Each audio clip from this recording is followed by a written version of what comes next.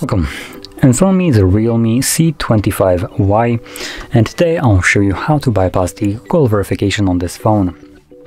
So obviously you can see that the phone I have right here is locked and I can unlock it either using the previously used pattern or well, using the Google account.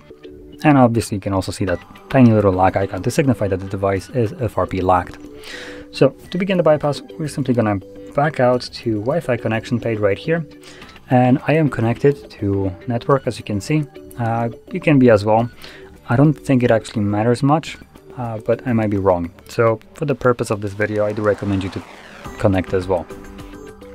From here, I'm gonna select see all Wi-Fi networks and then scroll down where you'll find add new network.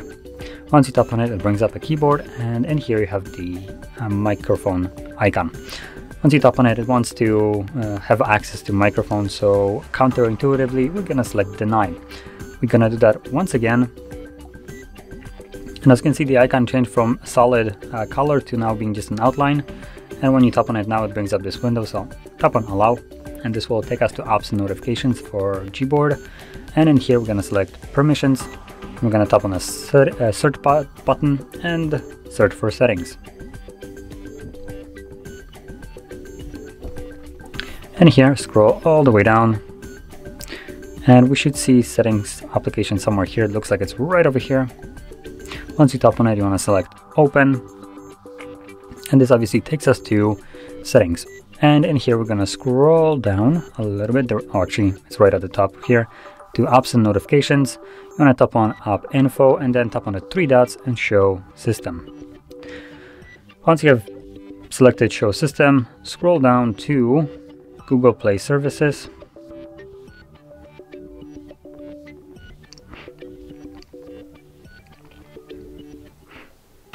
There we go, Google Play Services, tap on it.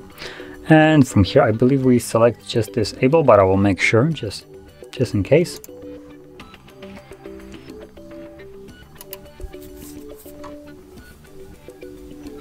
So yeah, we're selecting disable and then disable app. Now, Based on the guide that is provided in the description, uh, it tells us now to basically reboot the device. But what I will recommend you to do right now is actually wait uh, for me to verify that this is the correct way because there's two ways of actually going about it.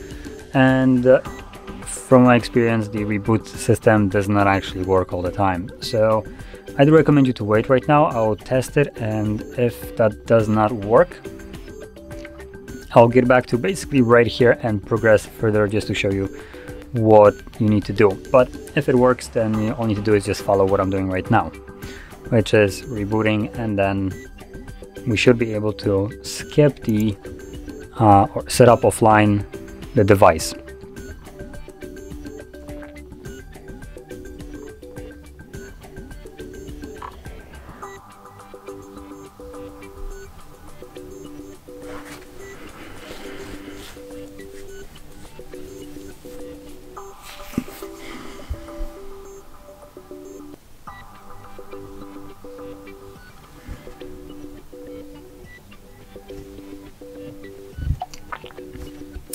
So right now I'm progressing through the setup.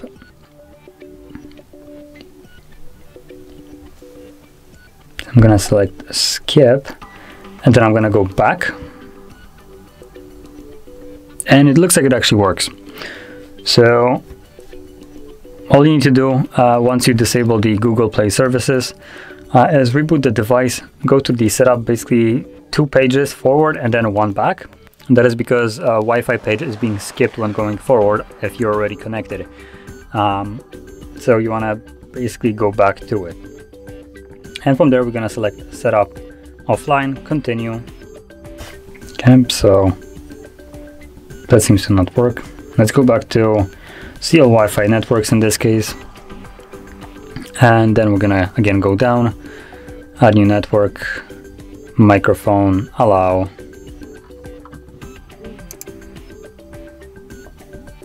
Again, let's go to permissions, search button and type in settings.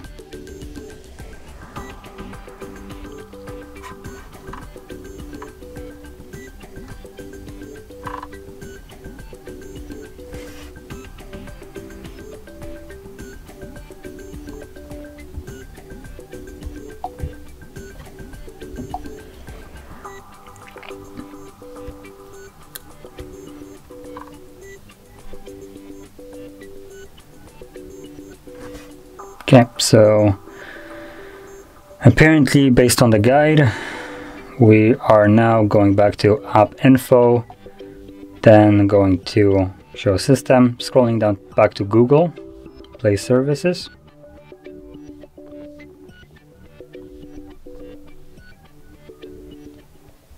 There we go. Google Play Services. And you want to then select Enable and back out. Back to the Wi-Fi connection page right over here. So I'm gonna click somewhere to close that window and then select Setup Offline. Select Continue. And it worked. This seems to be a little bit more of a tedious uh, way of doing it. There is a simpler way, but I guess that's the guide, so there we go. So from here we can finish up the setup. Now you want to basically skip as much as you can. It doesn't really matter what we set up right now. The device is technically still locked, so once we gain access to the home screen, you want to then simply jump to settings, scroll straight down to system, reset options, erase all data, factory reset, confirm it, and then confirm it once again.